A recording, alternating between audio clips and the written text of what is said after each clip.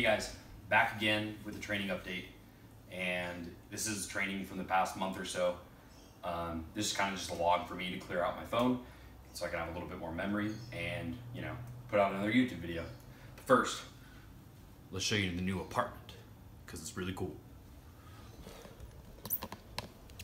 All right, so my girlfriend and I moved here about a month ago now.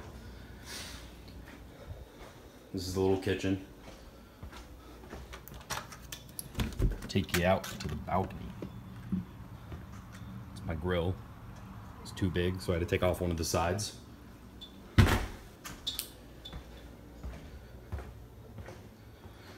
Dining room table.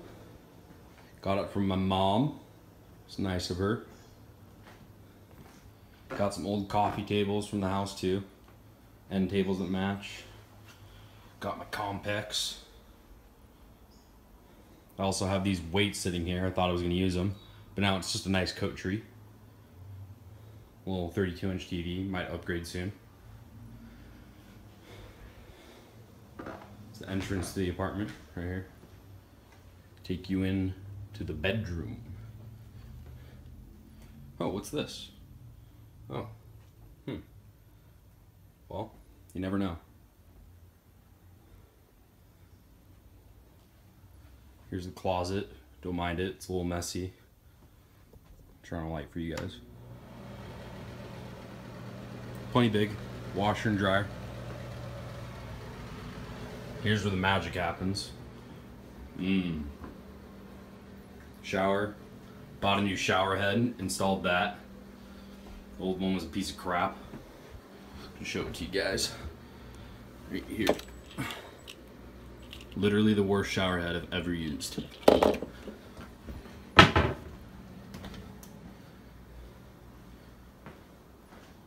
Well, that's the apartment. Got a few pictures hanging. That's about it. Hope you guys liked the video. I need a haircut. Thanks for watching. Alright guys, so we're doing a little voiceover action. This is my training for the past month or so. Here's some squats. I think this is like 408 or something. And I'm just cranking out the reps. I think I hit 10 here, which is technically a PR because the most I've ever squatted for 11 would be 405. And since this is 408 and I got it for 10, which is good because my squats have been kind of eluding me lately. And this entire past month, I felt like I've been able to make really good progress as far as my squats concerned. Putting it back's the hardest part. And sassy belt flick. All right, 4, 455 by 5. So this is kind of like a milestone mark for me as far as strength goes because the first time I ever squatted 500, I believe I hit 455 for 4 or 5 before I was able to do that and it's been a long time since I've squatted 500.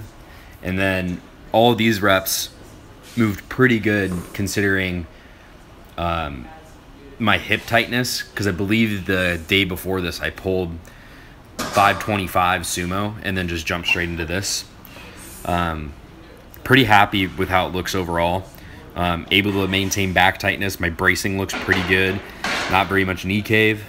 Overall, really proud of that lift. And then this is the following week. I uh, was feeling like crap. And so, of course, you know, why not hit a top single?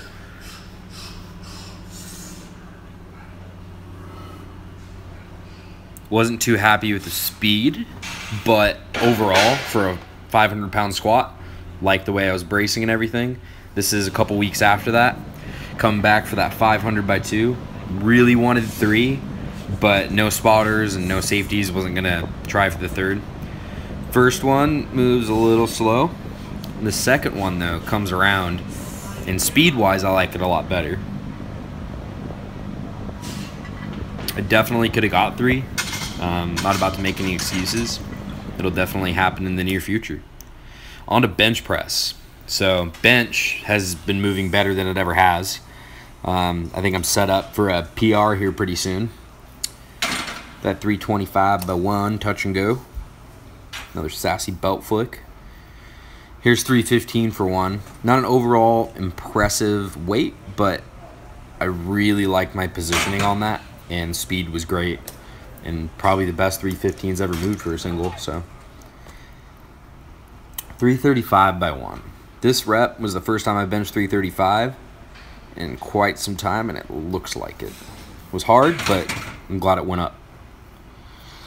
Started incorporating some slingshot work too. I think slingshot is arguably one of the best overloading tools. Um, I know a lot of people use bands or chains and things of that nature, but I really feel that the slingshot, having that weight in your hands, definitely makes you acclimate to heavier weights quicker.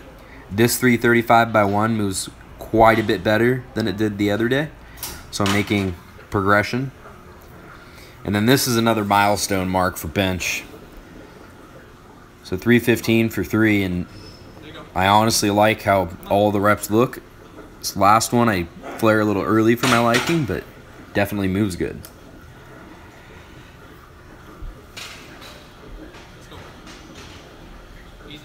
Speed wise, that was really good. Use good leg drive.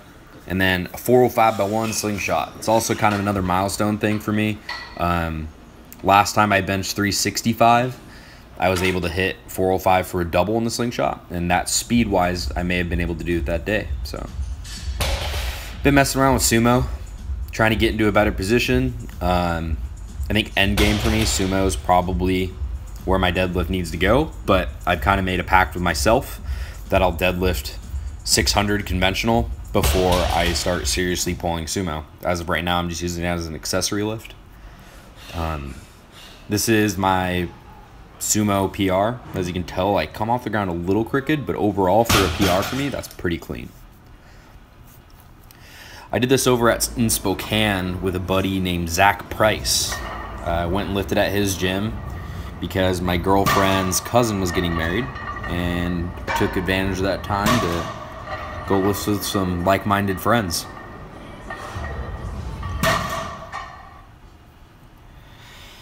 This deadlift kind of took the life out of me. I like my positioning, but you can tell I really, really want to ramp. Anyways, thanks for watching, and uh, hope to catch you guys next time.